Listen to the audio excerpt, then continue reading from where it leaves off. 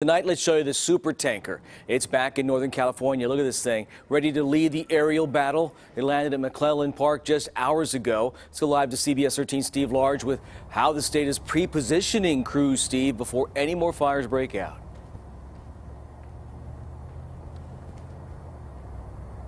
Yeah, light up off the tarmac here at McClellan Air Park, and you can see a couple of firefighting aircraft that are on the tarmac right there. You can also see the air traffic control tower right here. And there's the big guy. It is the one of its kind super tanker ready to go. An early arrival time in Sacramento for the 747 Global Super Tanker.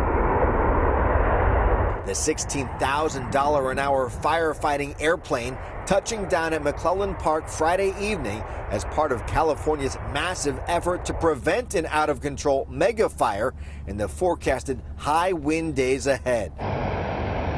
Besides the super tanker, a fleet of firefighting aircraft fueling up, some owned by the state, others leased, all on the tarmac at McClellan, all available and on call for CAL FIRE. We've never had more resources in this space uh, than we do today. Governor Gavin Newsom calls it the biggest pre-positioning of firefighting equipment and crews in the state ever. We put an historic amount of money this year to pre-position assets all around the state. The high fire danger this weekend means evacuations could be ordered as a massive preventative power shutdown also goes into place. It is a concerning combination. This is really sort of an unprecedented uh, place that we are in as a state.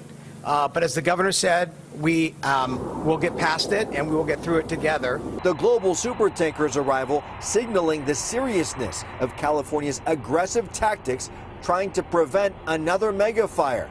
Flight tracker shows the supertanker returning from its most recent firefight in Bolivia just last week, where it dropped miles of retardant on Amazon rainforests that have been burning out of control.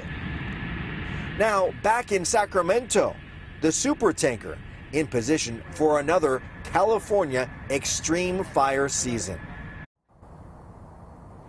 All right, so another live look at the super tanker on the McClellan Park uh, tarmac tonight. I can also tell you that the Office of Emergency Services tells me they have 100 fire engines spread out pre-positioned all across Northern California right now on the ground. And then it's these aircraft. Every single firefighting aircraft in Northern California will be ready to be dispatched starting at 8 a.m.